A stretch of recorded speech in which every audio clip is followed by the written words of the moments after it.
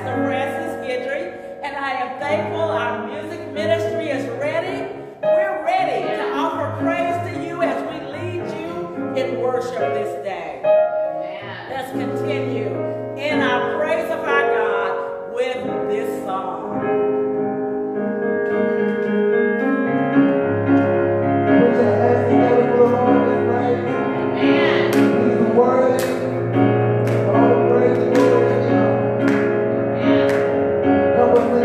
love.